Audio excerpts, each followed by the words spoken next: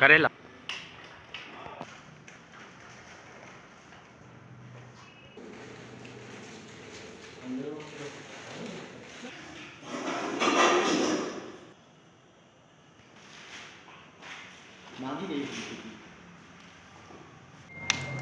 Accident साहब tender को लेकर जो है यहाँ बवाल हुआ था।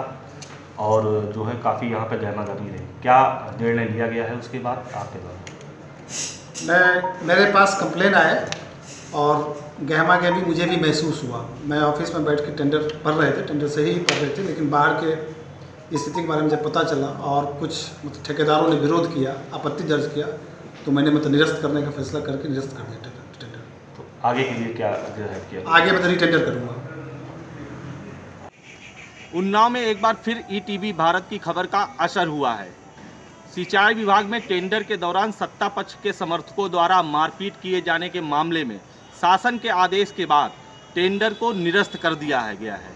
और एक बार फिर से टेंडर की तारीखें निकलेंगी और दोबारा टेंडर प्रक्रिया की जाएगी। उन्नाव से वीरेंद्र यादव ईटीवी भारत।